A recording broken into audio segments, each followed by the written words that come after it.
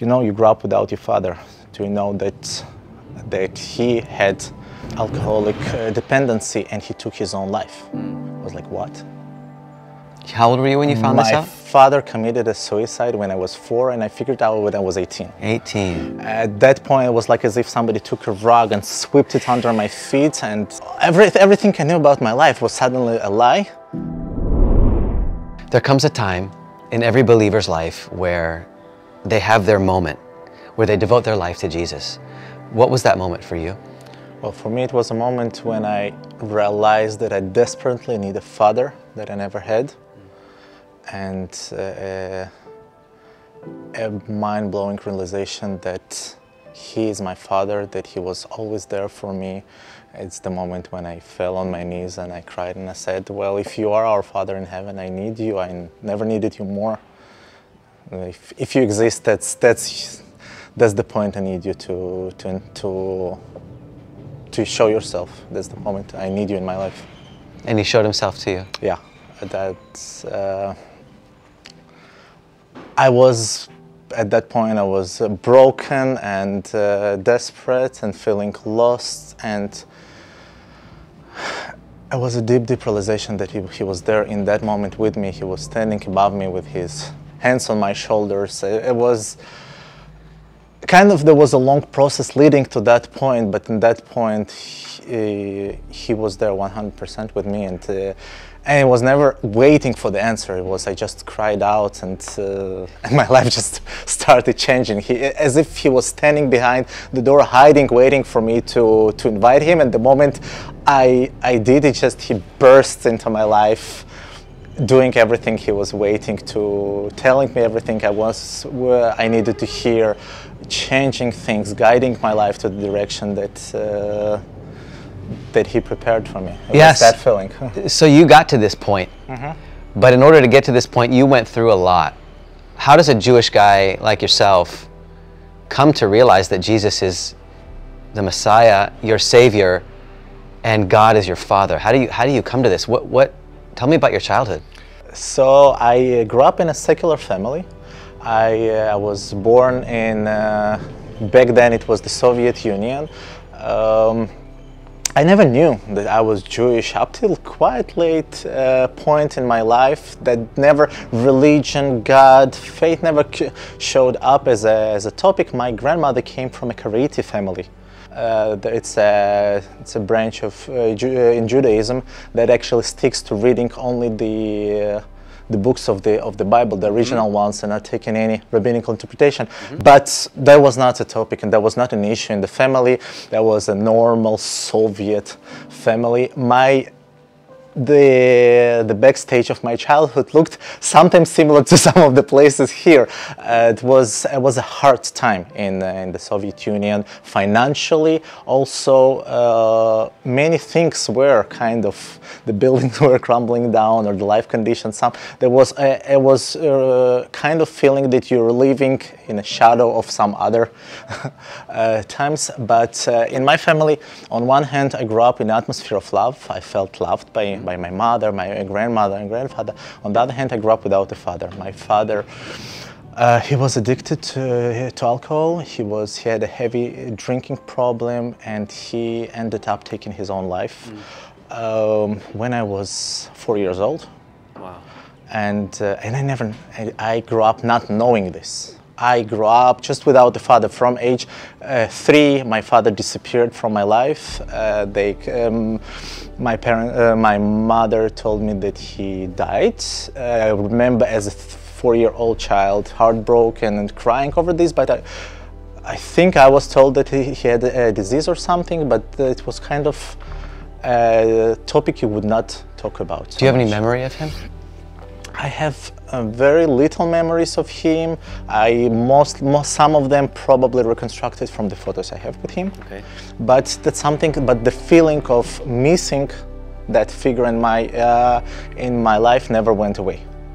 Um, I do remember growing up wishing I would have a father. I felt very much my mother did an amazing job raising me in the, in the atmosphere of love and, and compassion and trying to give everything she could. She was working four jobs in order to provide for me. We were living in kind of the dormitory that was giving, given from the factory to which she was working. Uh, suddenly, at the age of 10, my grandma starts talking about that we're going to move somewhere, that we're going to Israel. Wow. Like, what, what's Israel? what is it all about? It was just uh, the country I heard from the news. It was, and then she says, yeah, we're Jewish, and uh, right. yeah, and some of our relatives already made an aliyah, and I really believe, and it was amazing because it was my grandmother that convinced all of her family it's time to move, that we cannot stay here anymore. It's better, there is a better future waiting for us there.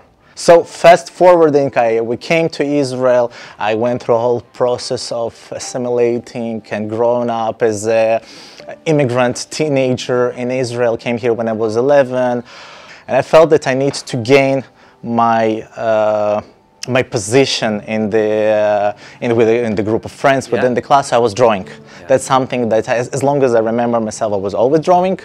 Not, I can yeah. say that it was. you're holding your sketch pad there, your sketchbook.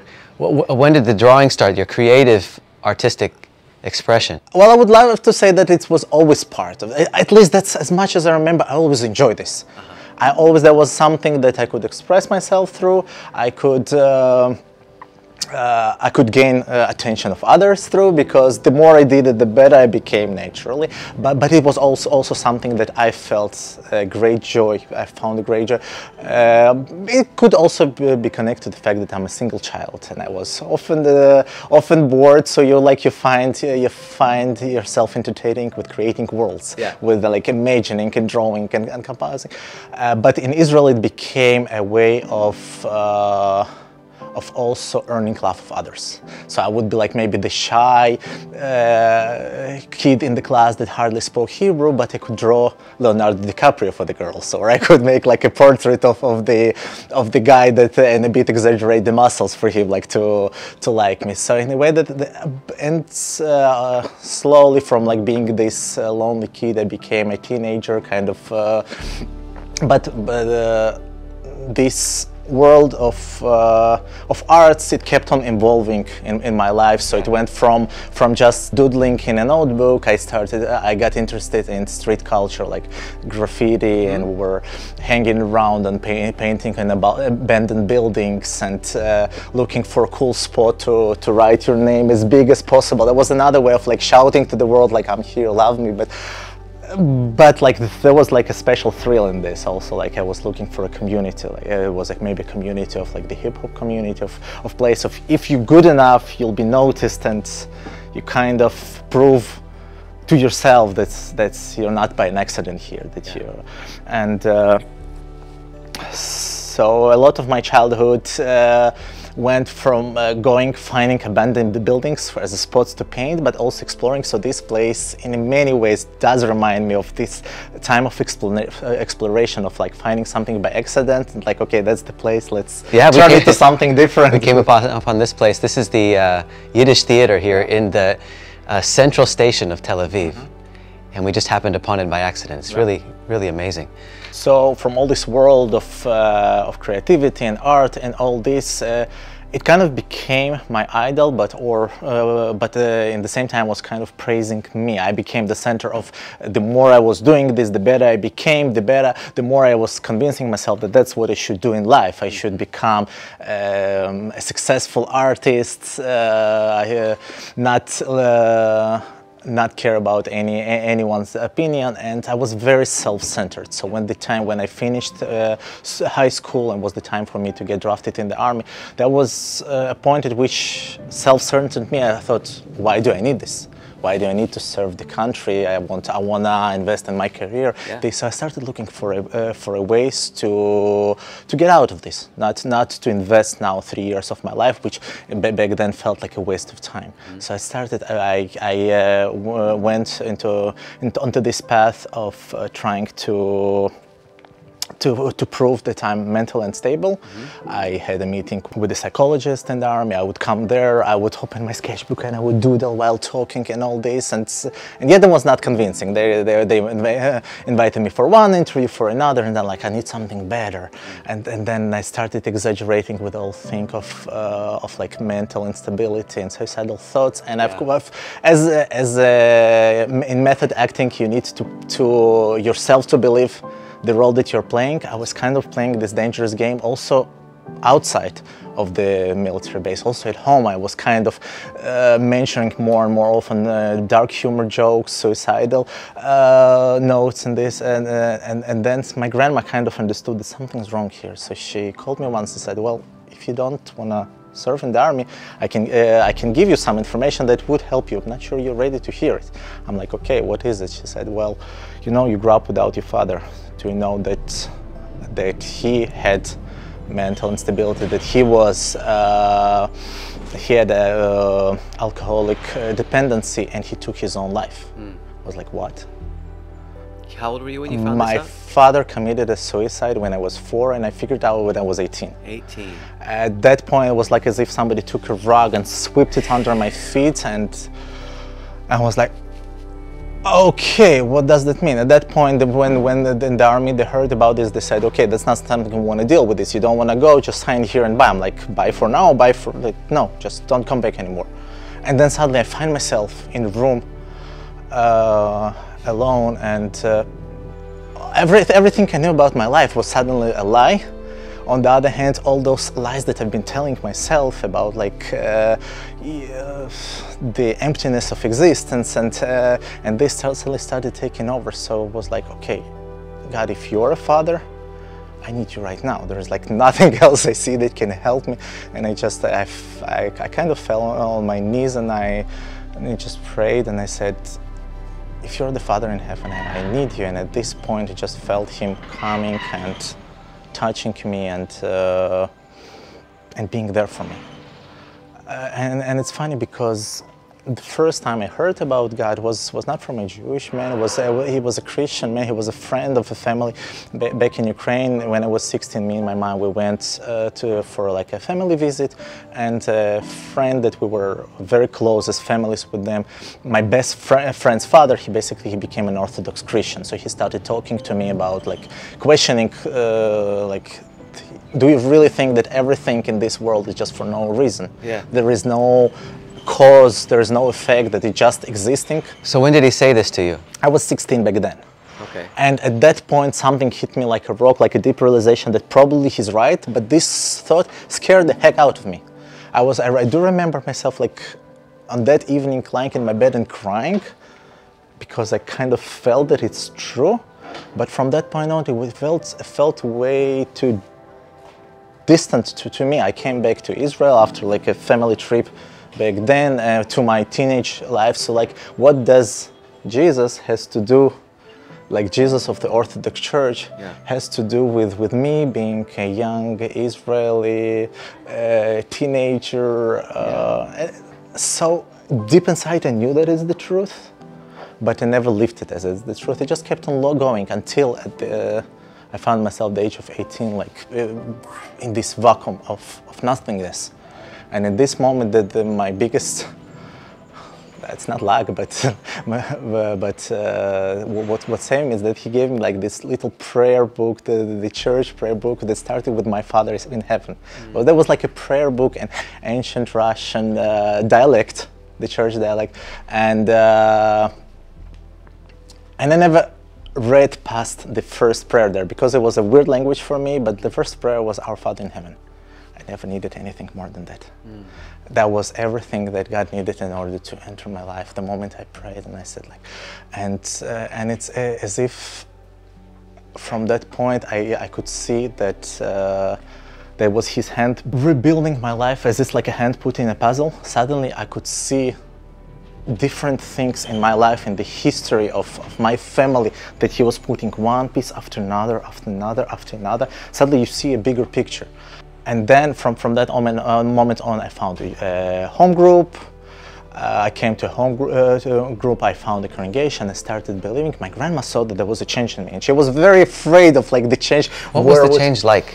um, she saw that I'm like disappearing every Friday. I'm going somewhere. That uh, that suddenly I started joking around things. So, so once we're standing on, in the kitchen and cooking together, and she's asking, "So tell me the truth. Uh, ah, so where are you going on Friday evenings?" I'm saying, "I'm going to a Messianic congregation." She's like, "What is it?" It's like a church, but it's uh, Jewish people there. And this, she's like, "Okay, yeah." So a few more weeks later, we were kind of in the same constellation. So, no, but tell me the truth. Where are you really going Friday evening?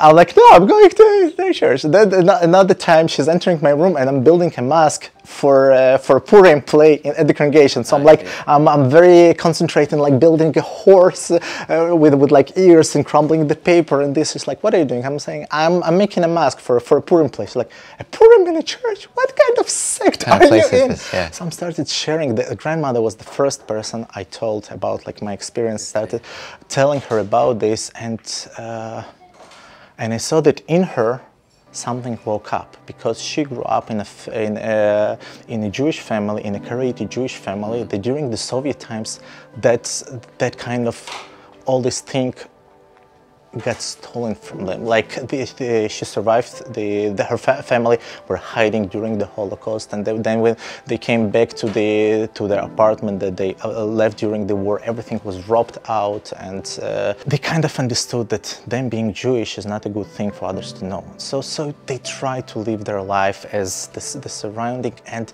I and I felt that this her Jewishness, her roots were stolen from her. She grew up all of her life kind of hiding this, and then suddenly me telling about my faith woke up something in her. She found like an old prayer book of the Karaite and she started reading this. I started telling her more about the, the Bible and this and, and eventually she ended up accepting uh, Jesus. Really?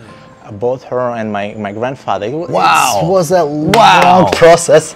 Uh, it's still, she's still in the process, but it was amazing for me to see that. And her accepting him was even more meaningful than myself because for her it was like this heritage that was stolen from her Yeah. is given back to her. And uh, Oh my goodness!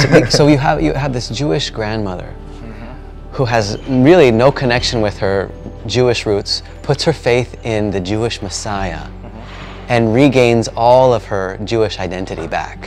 yeah. Incredible! Yeah. Incredible! Thank you, thank you for, for sharing that with me. Wow! Wow!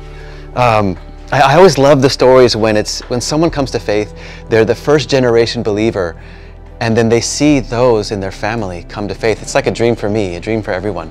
So, with your amazing talent, what are you doing now? Well, now now I work uh, as an animator, uh, but it's interesting because for for uh, for a time uh, after I uh, found God, He found me, I felt suddenly that there was so much selfishness in all of my. Process about doing art that was all about me and shouting to the world somebody love me and then I found the source of love. I found uh, found him, and I felt that I don't need this anymore. I put it aside for a uh, for a point of time. I put uh, art and drawing and all this because I didn't uh, didn't want this to define who I am. And uh, and he uh, he used this time to deepen my knowledge of the Bible more, to deepen me in, in faith, and then suddenly as a result of hearing a testimony of another artist, Rick Wienecke from Arad, and hearing his testimony talking about the connection between Holocaust and uh, and uh, Yeshua, suddenly this feeling of uh, I want this experience. I want to dedicate the work of my uh, my hands. I want to dedicate my art to God, and I want this ex- uh, this experience of working under His guidance so badly. I was sitting there and weeping in the room while he was telling the, the testimony, and uh, and I just said, well, God, if it's from you, I, I, I want to do it. I don't want to dig the, the gift in, in the ground, the talent. And uh, I, I got accepted to Bezalel, which is uh, Israel's most famous art academy, uh, by his grace, not by mine. But I finished the studies there. I studied animation and screen-based arts, and today I have a pleasure of working in Jews for Jesus as an animator. We work on a uh, series of animation uh, films about uh, Yeshua, about the Bible, about its relevance in today's Israeli society. We try to make it, whoa, in an artistic way, which is approachable for uh, for the society in which we live. So for me, it's a great, great pleasure. Yeah, the videos are incredible. So I'm going to link those down in the description so you can see them all. And um, wow, thank you for sharing that. Um, if you like this kind of content, leave a comment, like the video, and subscribe to the channel, and we'll continue posting more testimonies like this one. Thank you, Dima, for sharing your story. I appreciate you. And uh, thank you for watching. And if you're Jewish out there and you also have put your faith in Yeshua, you can send us a message down in the description. We have our email. We'd love to hear from you. Take care, and God bless you all.